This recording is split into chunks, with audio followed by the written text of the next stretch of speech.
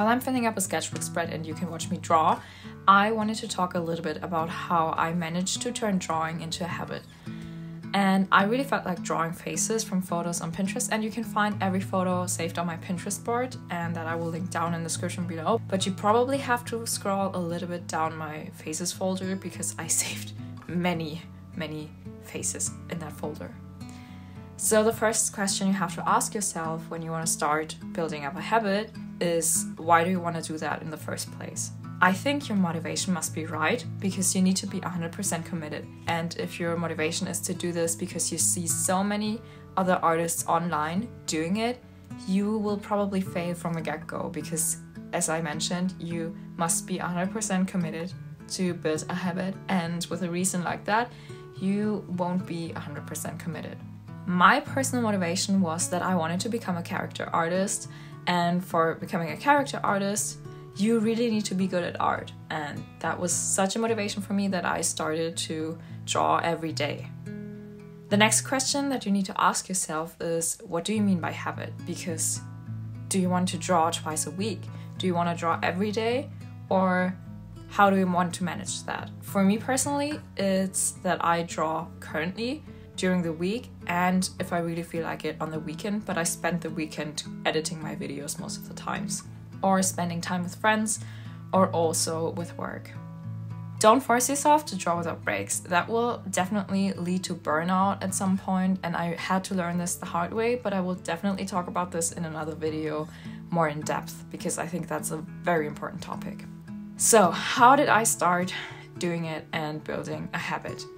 I think the video that helped me the most in terms of starting a habit or starting to draw daily was a video by Steven Zivler and if I can find it I will put it in the description but if I can't find it then I'm so sorry. There was one thing that really stuck with me from that video and that was that you should look for something simple that you can do every single day at the beginning of the day and I stuck with the example that he made which was making your bed every day. You could also start by making yourself a tea or anything that takes a couple of minutes and is done very quickly. Because if you start your day by doing something that you know you can do within a couple of minutes, you will already start your day with the right mindset of achieving your goals. Steven Zivler also said in his video that if you can't do that, how will you start implementing something that takes up even more time, like for example, drawing? And I think he's very right with that. So look for something that you can implement in your day to day life and that won't take up too much time to really get into this whole habit thing. And then another thing that I find really important to mention here is that I personally love working with routines and to do lists. But if you are not the type of person to do that and you cannot work with that, it's totally fine. I mean, there are so many different ways of working.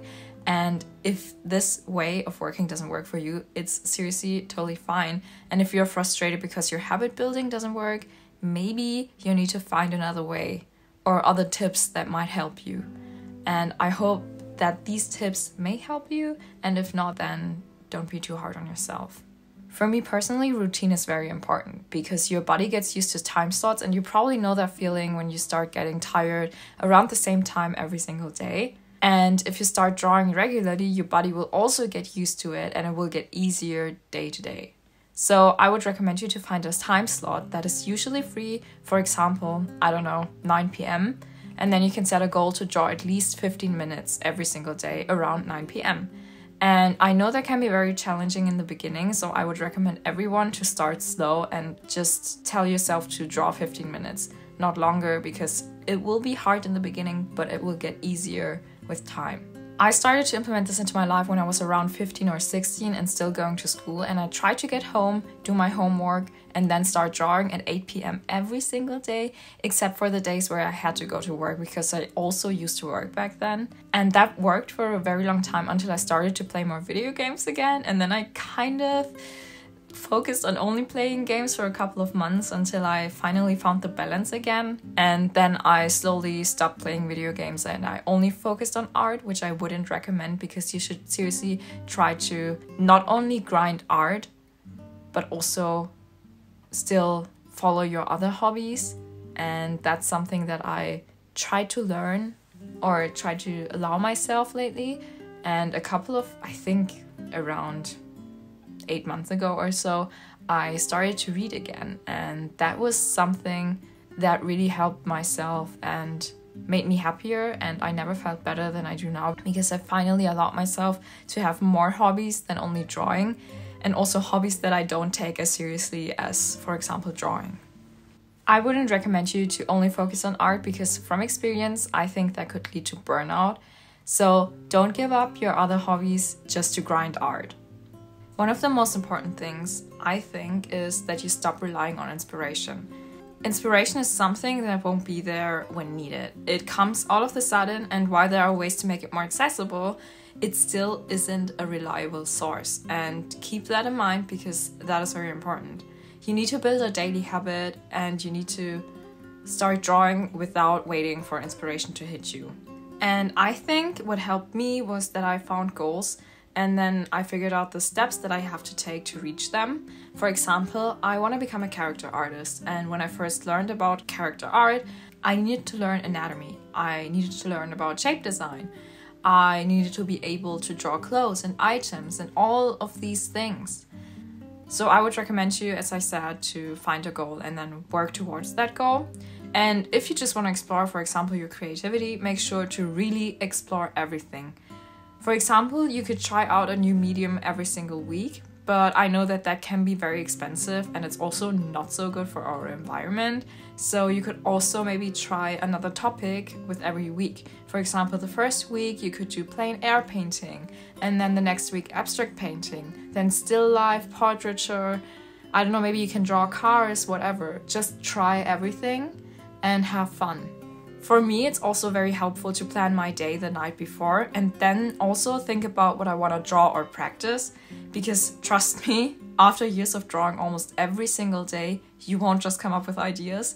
So, for example, I like to think about what I need to practice the next day. And if it's something like anatomy, then I know I will start with a figure drawing warm up and then I will, for example, learn the muscles of the torso of course, if you then all of the sudden feel the inspiration to do something different or draw something different, then you can always do that. But it's good to have a plan in hand before starting to draw and then just freezing in front of a blank page. I also learned to recognize my excuses. I actually have a book recommendation on that, and the book is called The War of Art it's a very good book, I think. It really helped me with that whole issue and that struggle because I realized that I was struggling a lot with using those excuses. Because at the end of the day, I was too afraid to start, or actually, I was too afraid of failing. And so I found excuses that I could make. For example, I was telling myself that I will do it tomorrow, or that I don't feel ready yet, or maybe I was too tired to start today. Something always came in between me and drawing and I found those excuses and I used those excuses. And then I at some point recognized these thought patterns and then I tried to fight them by recognizing them and telling myself that these are now excuses that I'm trying to make just so that I don't fail, which is very negative. So I can only tell you that you should start today because you will never feel ready. And the starting tomorrow doesn't really work. We all know that, we've all been there, so just start today. Taking breaks is also very important in building habits because you still want to keep it healthy. It is important to take breaks. Be easy on you if you don't have the time because you have a job or kids or other circumstances that make it difficult to draw every day. You don't have to draw every single day in order to become a good artist. You just don't have to. Some days it's impossible to fit in a drawing session, and that is totally fine. I need to tell myself that a little bit more often because I am also struggling with that because I'm putting a little bit too much pressure on myself. But that is something that I'm working on and it's getting better every day. Sometimes I also take a week off of drawing and then I miss it so much that I just need to start to draw. And I think it's very important to recharge your batteries every now and then because drawing on a daily basis is something creative. And you can't just be creative every single day without taking a break. So, breaks are important. And as I mentioned before, I think I didn't take a break from drawing for probably at least one and a half years. And then I got burnt out, so I know what I'm talking about. Please take your breaks and don't feel bad about them because they are important. Also, another very, very simple tip for building habits is to keep your sketchbook or drawing materials close to you and in reach. Because if you feel the sudden urge to draw, there is nothing more annoying than having to get up and searching for your materials. So keep them close so that you can just grab them and start drawing. You could also start drawing while watching something or while you are on the phone, talking to someone, or even the loading screen of a game and start doodling a little bit. I also tried to find tips on the internet for people who are struggling with working with routines. I don't know if these are helpful, but I thought I would still look it up because, as I mentioned, I am a person I love working with routines and to do lists, but I know that there are so many people who are struggling with that and who can't work with this. So I tried to find at least three tips that might help you. One of the tips that I found was that if a goal like drawing every single day is too intimidating, try just to sit down first. The goal could be to sit down and open your sketchbook and just be there. And if you end up drawing, it's fine. And if you don't end up drawing, it's also fine.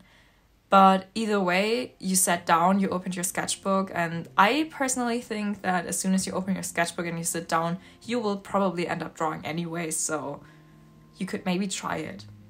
Also, another tip that I found was, and I personally think that that is a very good tip, is that maybe you can find someone that could join you in building a habit because that way you can both check on each other and then motivate each other. I know that I tried this once with my sister with working out, so we checked on each other and that was very helpful in the first couple of days because that really helped me to remember oh I still need to work out and that was as I mentioned very helpful. The last tip that I have is that visualizing yourself doing the task may also help you to get up and really do the task. But I think that that is a double sided sword because sometimes you end up giving yourself the feeling that you already did something because you thought about it so much. At least that's the case for me.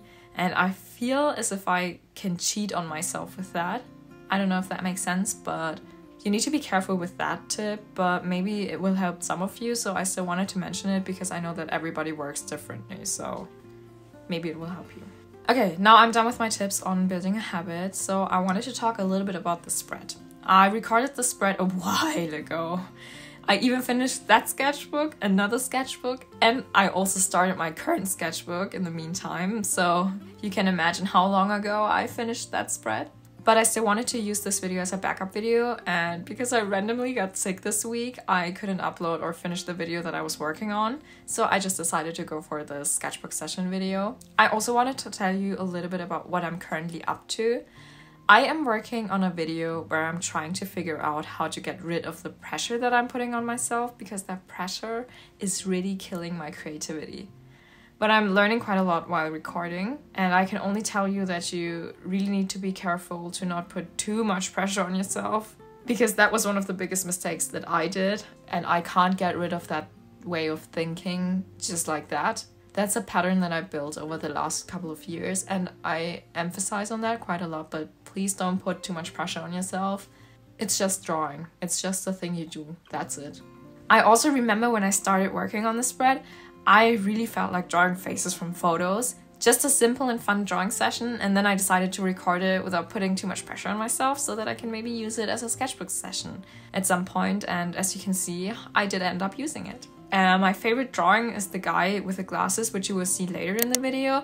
And I actually read that he was a gang member, but because I thought his expression was so cool and intense, I still drew him for practice purpose. I tried to stick with minimal shading on this page and even though I overall like the spread, there are two sketches that I don't really like. I don't like the way the older guy with the hat turned out because I think I should have kept the shading either more minimalistic or I should have gone all in and really put effort into it. And the other drawing I don't like is the one of the woman laughing. I just think it looks creepy. But I had a lot of fun filling the spread, so I really don't mind. It's just a spread in my sketchbook, and I had so much fun, and I, as I mentioned, kind of like it.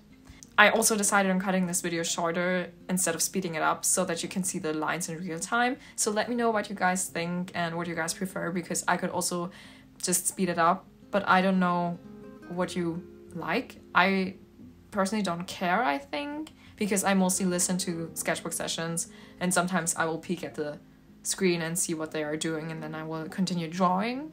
So I listen to sketchbook sessions more than I watch them. So let me know what you guys do. And I think I will leave you now to some relaxing music that I personally like to listen to while drawing so that you don't have to look for something because I love watching those kind of videos. I hope you enjoyed my video and I will see you next week. Bye!